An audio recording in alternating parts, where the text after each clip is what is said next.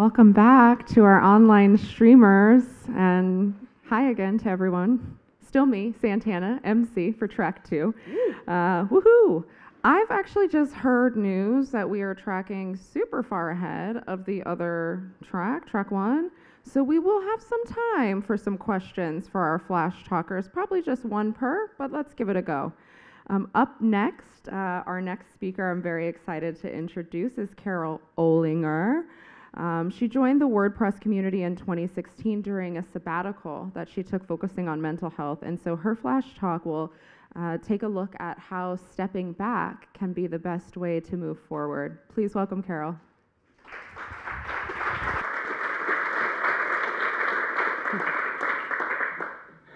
Hi all, boa tarde, que Lisboa.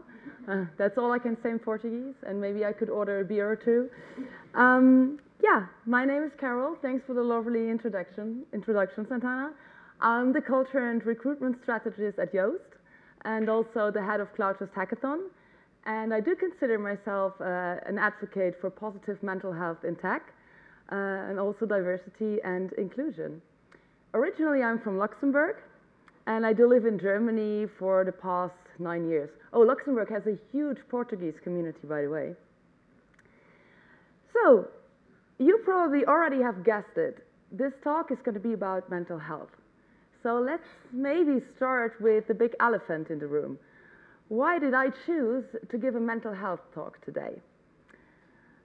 Well, um, I struggle with depression and anxiety myself, and I decided not to be ashamed to share that with you on stage today.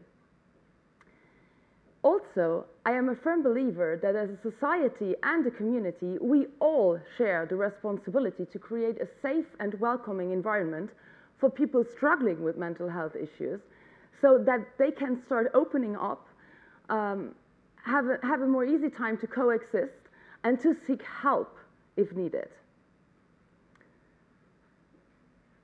Seeing role models on stage who were speaking publicly about their mental health issues was essential to me before I was able to open up myself. And as with so many other important topics around inclusion and diversity, representation really matters here. It helped me realize I was not alone in this. And if now I can be a role model for just one single person in this room today, or maybe later on WordPress TV, having given this talk will have been worth it 10 times over. So let's remove the stigma around mental health issues together and let's start today. So instead of fighting my elephant or trying to hide it, I just decided to bring it with me to Lisbon and accept it as a part of me and take it by its trunk to show it to you. But this talk is called Stepping Back to Move Forward. So what could be indicators that you should take a step back once in a while? Let's first talk about performance and motivation loss. What you are filling your regular day with, does it actually spark joy? And no matter if we're talking about your professional career, your hobbies, your volunteer work, or about how you build your family life, it is important to understand that true ambition, passion, and efficiency are born and grow from within. That was my microphone. so, what are your passions and what personal values are attached to those? When we simply enjoy an activity because it is fun or we see it as an opportunity to explore, to learn, and grow, we are intrinsically motivated. It's just fun what we are doing. Extrinsic motivation, on the other hand, involves external rewards or is about avoiding punishment. And intrinsic motivation can be the key to success and fulfillment. And if you don't feel like you're driven at least partly by intrinsic motivation, you may want to change that. Now let's talk about health. Physical and mental health are interconnected and interdependent. And make no mistake, your body will eventually show you with brute force and all kinds of physical symptoms if you ignore signs of feeling mentally unwell for an extended period of time. Do you know the feeling when activities that you have always found energizing all of a sudden drain the energy out of you and you can no longer bring yourself to do them even though you, enjoy, you used to enjoy them? Have you ever felt like all you can see in front of you is just a mountain of to-dos and if, even if every single task would be easy to complete, you feel exhausted and you no longer can tackle just a single one. Well, this is all too familiar to me. And if your physical or mental health or both are already compromised, it is about time to get to the bottom of it, time to take a few steps back. And I am well aware that taking care of your physical and mental health requires lots of time and yeah, this is a precious asset that we don't seem to have nowadays anymore, right? Uh, but this is where we're also allowed to learn how to reevaluate and to set the right priorities in our lives. Talking about priorities, I would like to investigate the concept of FOMO with you, the fear of missing out. You, you know, you know what FOMO is? You've all heard the term, did you, right? Yeah, it's the, you, you did it, Angel? No, I, I, I enjoy my own. yeah. Wait for it.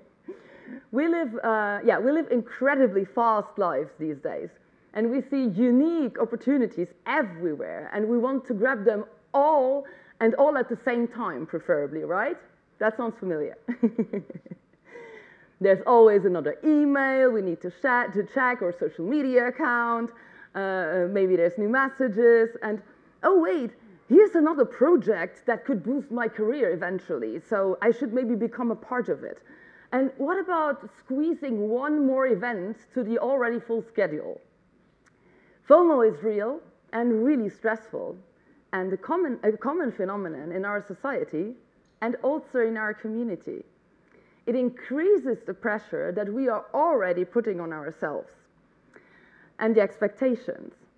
But what if I told you there's a far more pleasant counterpart to this? Meet JOMO, the joy of missing out. You don't have to run after every opportunity. You don't have to attend every event. And you certainly don't have to burn out while volunteering on working on an open source project. Embrace.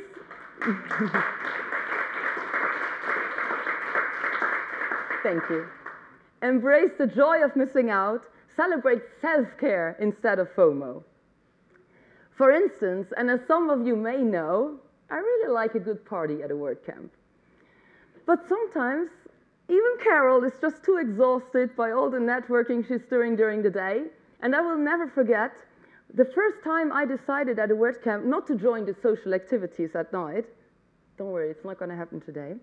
and I went to my hotel room, ordered room service, and enjoyed eating pizza in my bed while watching Netflix.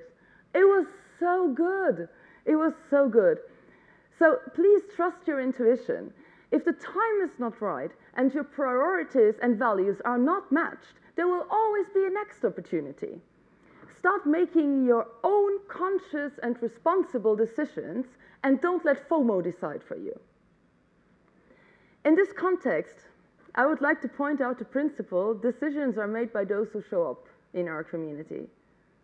Is this really the message we want to spread in terms of sustainable contribution? This is fueling the fear of missing out. Not to mention that decisions are most definitely not made that way in this project, and one would have to be very privileged to comply with this principle. Not everyone's time on WordPress contribution is sponsored, right? I believe we could do better than to increase the pressure on community folks to always be on and always be active. Now that we know the indicators that tell us we need to act, what can stepping back look like? I like to distinguish between a reality check, a health check, and resulting adjustments. Who are you today compared to five or 10 years ago? What are your priorities today? And what are your personal values today? Human beings are designed to evolve. And I am proud to say that I am not the same person today as I have been five years ago or even one year ago. And I truly hope that in two years from here, I will not be the same Carole you're seeing today. Because I love to evolve. I want to learn every day. And that's why I feel the need to question myself, my priorities, and my values every now and then. I want to stay connected with my evolving self. I have found that in this regard, there's nothing more inspiring for me than traveling and learning from people with different backgrounds and from different cultures. Learning and evolving while traveling means wealth to me. So I decided to adapt my lifestyle accordingly. Today, I live partly as a digital nomad, traveling the world together with my husband and my uh, dog, which is a psychiatric service dog, little Buffy. She's the cutest. So the question is, what does wealth mean to you? And are you already living your life according to these passions and personal values? And if not, where can you start to adapt your lifestyle to get closer where you want to be? Dare to become a pioneer and leave your comfort zone occasionally as you step back to do a little self discovery. And change can be scary, I know that, especially when struggling with mental health issues. But it doesn't always have to be a drastic change to start with. Baby steps really can go a long way when starting to move forward. The second part of the personal inventory would be the health check. Say it with me. There is nothing ever more important than your health. Get your priorities straight and focus on self care. Put your well being first. And I want to make an important call today. Mental health matters, and please don't you ever feel ashamed or afraid to ask for help. You did not choose to get ill, if that's the case. On the contrary, you are choosing life and yourself by deciding to get the help you need to feel better and you are absolutely worth it. Last but not least, never see the steps back that we are talking about today as a regression. They are most certainly not. Because before anyone can jump over a canyon or an obstacle, they first have to walk back in order to build up enough speed to make that jump in the first place. And the greater the distance, the higher the obstacle, well, the longer the run up, and the farther back you'll have to go. But every step back is necessary to get you to move to the other side, to overcome the obstacle, and finally move forward in the right direction and for good. Thank you. Woo!